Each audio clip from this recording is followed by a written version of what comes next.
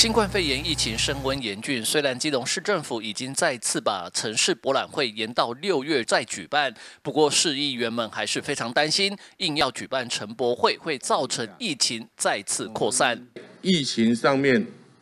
哦，我们如何去斟酌，是不是在延期或是取消这样的一个问题？不管是有没有人潮，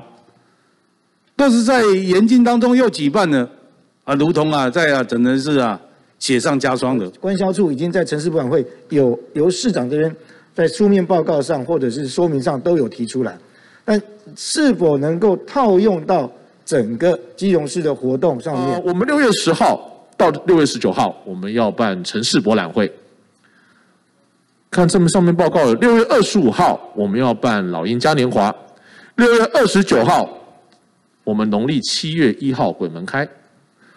七月十二号，我们中元节，但是我们要不要办？尤其是当基隆市的确诊人数是基隆市的确诊比例是冠于全国的时候，那如果我们办的话，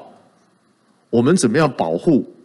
这些来基隆玩的游客？我们有没有做任何的配套措施？我们中央的政策每天都有公告很多疫情相关的办法，那也希望新闻科呢可以多加的宣传，让我们的市民知道我们。比如说，在这个防疫期间，现在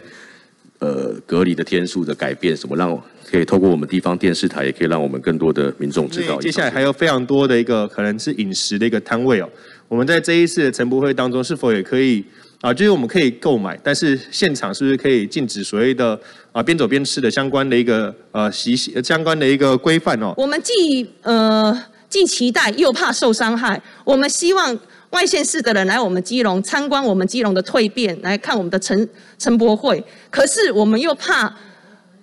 别人带给我们的伤害。到时候开幕的时候，外县市人没人来，或者是说那天人数暴增，就是有我们预估的那么多的人来，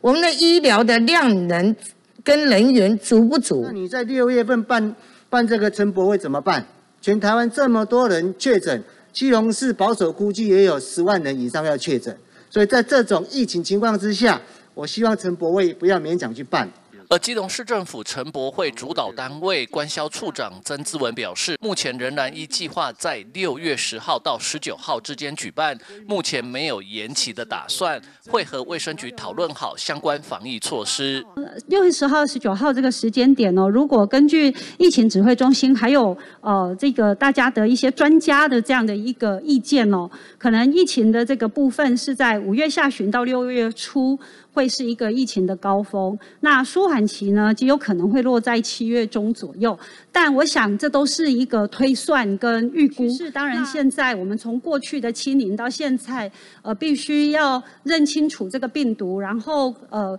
大家要做好一些呃这个自身的防疫，然后要与病毒共存的这件事情。所以。当然，所有的这一些准备呢，我们希望说到时候举办成博会的时候，我们是能够跟卫生局讨论一个呃比较清楚的呃这个防疫的规范，不然不管是。我想政府端的部分，对于我们举办方的部分，我们就是在所有的防疫的措施，我在报告里面，在市长的报告里面也有跟卫生局有提出来。比如说，呃，我们在这个人流的部分，我们会去看我们几个主展馆，在人流的部分是不是要做一些管理哈？那不要让这个人流的部分，好像到时候这个小小的展间里面呃挤满了人，好这件事情，那我们会做一些规划。那第二这个。部分就是我们会尽量去呃 promote 我们的这一些呃选物哈伴手礼，但是呢，我们尽量呢来让大家知道说。呃，不要呃，在一个风险大的地方来用餐，比如说人很多的地方、很密集的地方，那这些是需要去做一些规划的。那另外还有就是，绝对不能边走边吃哈，这件事情是绝对严禁的哦。所以我想这些规划的措施呢，我们希望能够在目前我们并没有延期的打算。市议员们对于关销处这几年来努力推动行销基隆都给予高度肯定，因此也希望在陈博会这件大事上做好必要的防疫准备。记者吴俊松基隆报道。